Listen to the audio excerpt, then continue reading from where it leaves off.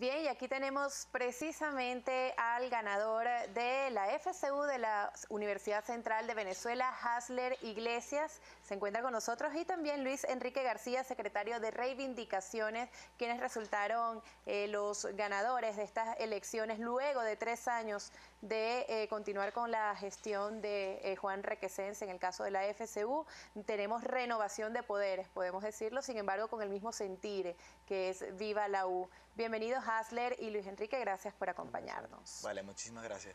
Quisiera escuchar las primeras palabras de Hasler. Bueno, ya estuviste eh, conversando con los medios, eh, con los medios impresos, estuvimos leyendo varios titulares, pero quisiera escuchar cómo te sientes ya asumiendo, ¿no? Eh, luego de, el viernes, en horas de la madrugada, realmente haber sido anunciado este triunfo, el encuentro con los medios, ya hoy como cayendo en cuenta realmente el compromiso que tienes de liderar todo ese sentir estudiantil que definitivamente está más activo que nunca ahorita en la UCB. Sí, mira, nos sentimos sumamente agradecidos, vimos una participación enorme en la Universidad Central de Venezuela, vimos mucho entusiasmo el día de las elecciones, mucha participación, eh, entendemos el compromiso que nos está tocando asumir y lo vamos a asumir con muchísima responsabilidad, con muchísima coherencia, como lo hemos hecho siempre en la UCB, y con muchísimas ganas de renovar nuestra institución, nuestra casa de estudios y de participar activamente en los procesos sociales y políticos que se están dando en nuestro país y dentro de nuestra casa de estudios en nuestro país, en nuestra casa de estudios, es muy importante porque en los últimos años lo que es el, movimiento estudiantil ha cobrado una fuerza eh, mucho mayor, incluso a nivel nacional, incluso a nivel de la sociedad civil. Es un compromiso, como decimos, no solamente de la casa de estudios, sino de representar un sentir eh, eh, actual. ¿Cuál es esa, mm, eh, las personas también activamente están esperando conocer esas acciones que serán tomadas en la FCU, en la UCB, para esta representación estudiantil? Recordamos de que las personas pueden participar con el hashtag ENEleccionesUCB, arroba entre noticias GB para hacer sus preguntas. ¿Cuáles son esas acciones que debe tomar esta nueva dirigencia estudiantil de la UCB? ¿Cuáles consideran ustedes que son los primeros pasos? En su gestión? Mira, en primera instancia vamos a comenzar a trabajar a nivel de comisiones de la Federación de Centros por todas las, situaciones que tenemos en nuestra, casa de estudios hoy. Vamos a avanzar en el tema del comedor, vamos a avanzar con las rutas de transporte, vamos a avanzar a generar y comenzar un debate y mesas de trabajo sobre la ley de educación universitaria. Nosotros queremos generar una nueva propuesta de ley que nos permita renovar todo lo que es la estructura y la administración de nuestra casa de estudios y eh, sobre todo, muy fundamentalmente, también avanzar en el tema de políticas de seguridad dentro de la Casa de Estudios, eh, en concordancia con las autoridades internas y externas de la universidad. ¿Qué se venía, ¿Cuáles son las acciones que se venían realizando por parte de la gestión anterior eh, en materia de seguridad, en materia de infraestructura? ¿Cuáles son esas acciones que ustedes han evaluado que pueden darse continuidad? Mire, en materia de seguridad hubo un trabajo muy de la mano con la Dirección de Seguridad Interna de la Universidad Central. Hubo también reuniones con lo que fue el Ministerio de Interior y Justicia para la instalación de puntos de control a las eh, entradas de la Universidad Central. Lamentablemente hemos visto que eh, las autoridades gubernamentales pues no han cumplido, digamos, de manera regular y constante esos puntos de control, pero nosotros vamos a seguir y vamos a buscar la manera de impulsarlos y mantenerlos de manera permanente. Sea, la crisis de seguridad dentro de la Universidad Central de Venezuela es sumamente grave y los estudiantes tenemos que mantener una postura muy firme, muy contundente para que las autoridades, que son los responsables de la seguridad dentro de nuestra casa de estudios, pues den respuestas eh, permanentes para evitar los delitos dentro de nuestra casa de, estudios y educación superior. Siendo ustedes, por supuesto, protagonistas, testigos de estos niveles de seguridad eh, que están planteando, ¿cuál sería entonces una acción primaria eh, para evitar eh, que, que, sigan ocurriendo hechos delictivos en la casa de estudios? Mira, tenemos básicamente dos vías. La primera es a nivel estudiantil organización que nosotros como estudiantes podamos tener un mecanismo de denuncia, un mecanismo de mitigación de riesgo, de, iluminación de, de, pasillo, que tengamos rutas demarcadas quizás con mayor vigilancia, con mayor afluencia de estudiantes, que nos permitan mitigar los riesgos de hechos delictivos. Y la segunda vía es que las autoridades cumplan con su responsabilidad, que eh, Dirección de Seguridad tenga los vigilantes establecidos en la ruta y que el Ministerio de Educación, de, perdón, de Interior y Justicia mantenga eh, los puntos de control a las afueras de la universidad que nos va a permitir eh, mitigar los riesgos y los delitos dentro de la universidad en concordancia trabajando los cuerpos de seguridad nacional con el cuerpo de vigilancia de la universidad. ¿Cuáles han sido esas, han tenido alguna interacción ya con organismos eh, públicos, con los ministerios, por lo menos el Ministerio de Educación Universitaria? ¿Han tenido alguna respuesta por parte del ministro para, bueno, primero que nada reconocer eh, este triunfo en su gestión y posteriormente ya planificar las acciones?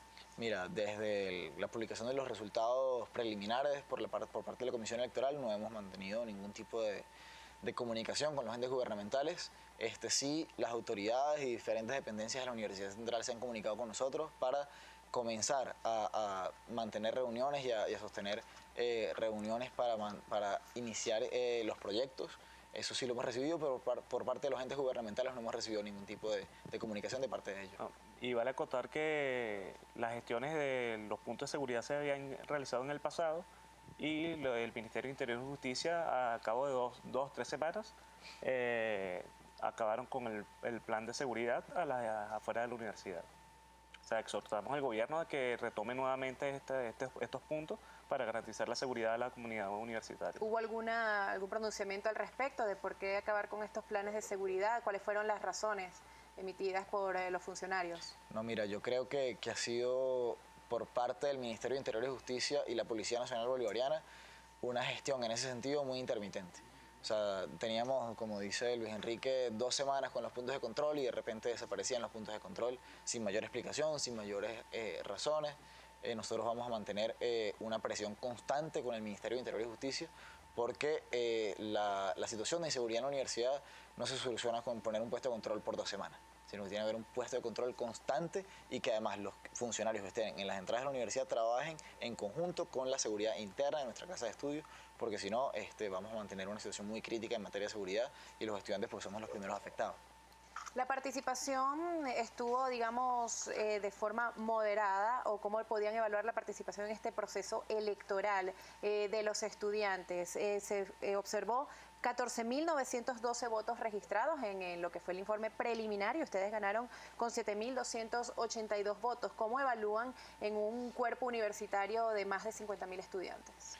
Mira, históricamente el porcentaje de participación en la Universidad Central de Venezuela en elecciones estudiantiles siempre ha sido entre el 30 y el 35% del, del padrón electoral.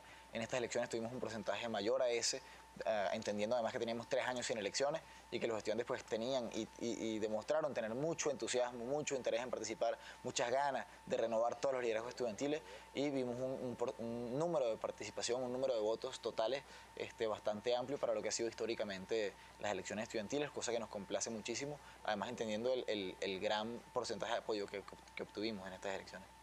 Entonces, también quisiera revisar lo que es la participación de la audiencia, porque como les dije, no solamente involucra a la comunidad estudiantil, hay mucha expectativa también de la gestión de la UCB, de eh, los sectores eh, estudiantiles por parte de la sociedad civil y nuestra audiencia a través de arroba entre noticias GB y el hashtag EN Elecciones UCB participa y nos pregunta, en cada elección de FCU por más de 35 años, escucho que prometen mejorar el comedor. ¿Será que en esta oportunidad cumplirá ya comentaste que es uno de los objetivos. ¿Cuál es el plan de acción y qué pasa que no se ha logrado satisfacer esta necesidad en 35 años? Sí, bueno, en este caso el comedor es bastante complejo, ya que el presupuesto de la universidad ha sido recortado constantemente desde el 2007.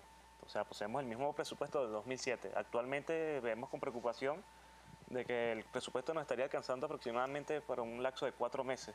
O sea, estamos, estamos recortados totalmente. Es un exhorto al gobierno de que verifique bien los, los costos de los alimentos que están bastante exagerados actualmente y bueno, tomar las acciones pertinentes ya que estamos en peligro de que los estudiantes se queden sin alimentos en los próximos cuatro meses, algo ¿Existirá alguna estrategia alterna a, esperar que el gobierno eh, aumente el presupuesto universitario? Mira, yo creo que el gobierno tiene que responder su responsabilidad. El comedor universitario es una, una providencia estudiantil que depende eh, al 100% de lo que es el presupuesto asignado a la universidad. Nosotros como estudiantes estamos proponiendo que haya una participación constante y una representación directa de los estudiantes dentro de la toma de decisiones para que podamos ser eh, garantes de cómo se ejecutan esas partidas. Pero lo cierto es que el gobierno nacional es quien tiene que responder y quien tiene que asignar el presupuesto eh, necesario para que el comedor universitario ofrezca su servicio de tres comidas a la comunidad estudiantil, entendiendo que además la UCB es una institución pública donde una gran parte de sus estudiantes vienen de sectores populares que eh, quizás no tienen las facilidades económicas de otras universidades. Nosotros entendemos eh, que el gobierno nacional tiene que ser quien facilite y quien otorgue esos recursos para que los estudiantes pues, podamos eh, recibir esta, este, este servicio estudiantil, que además ayuda a reducir las desigualdades. Además del presupuesto, y volvemos al tema de seguridad, porque nuestra audiencia eh, participa e incluso ofrece esa mano de ayuda. El soldado de Franela dice, necesitamos seguridad. ¿Qué podemos los estudiantes aportar para mejorar esto tan fundamental? ¿Cuál es el llamado que se le hace no solamente a la gestión de la FSU, de la UCB, sino también a esa comunidad estudiantil para mejorar las condiciones en materia de seguridad y en otros ámbitos? Mira, como te decía, vamos a trabajar en dos aristas. La primera es que los centros de estudiantes se convierten en, una, en un centro de conexión directa del estudiantado con la dirección de seguridad, que se conviertan en, primero, receptoría de denuncias, porque a, ciencia cierta, eh, la dirección de seguridad no maneja números reales de, de los hechos delictivos en la universidad porque no hay denuncias al respecto. Entonces, primero que seamos receptoría de denuncias en los centros de estudiantes y segundo, que mantengamos una comunicación directa ante cualquier hecho irregular, ante cualquier situación sospechosa dentro de nuestra casa de estudio. Esa es la primera vía, que los estudiantes nos organicemos y mantengamos un mecanismo de presión constante con los cuerpos de seguridad dentro y fuera de la universidad. Lo segundo es que vamos a mantener una presión día tras día para que los puntos de control dentro y fuera de la universidad estén establecidos, para que los vigilantes estén en, sus, en sus rutas, en sus eh, patrullajes internos, que además tengamos los puestos de control, que es una, una exigencia que debemos mantener ante el gobierno nacional, los puntos de control afuera, en las entradas de la universidad, y eh, también trabajando muy de la mano con todo lo que es las rutas de transporte, sobre todo para los horarios nocturnos, que tengamos cómo movilizar a los estudiantes a las 8 de la noche, 9, 10 de la noche, de la salida de clase a eh, las estaciones de metro, las estaciones más cercanas de, de transporte urbano y eh, todo el tema de iluminación en el tema de servicios generales de la Universidad Central. y es fundamental también el, o sea, nosotros estamos impulsando el uso del carnet universitario. Sabemos que hay deficiencias con el material, pero estamos exhortando a que nuestros compañeros utilicen el carnet de la universidad para así identificarnos y saber quiénes son las personas que están haciendo vida dentro del campus. Esto prudencialmente estaría disminuyendo el ingreso de personas no ajenas a la universidad. ajenas a, la universidad y así estaríamos disminuyendo el, el índice de delitos potencialmente. Claro, siempre es una medida. Bueno, vamos a hacer una pausa, pero en la próxima parte vamos a revisar también parte de las declaraciones y de las propuestas que realizaron otros candidatos en estas elecciones y ver qué se puede entonces eh, presentar para esta gestión de Viva la U. Hacemos una pausa aquí en Entre Noticias y continuamos conversando con el presidente de la FCU de la Universidad Central de Venezuela. Ya venimos.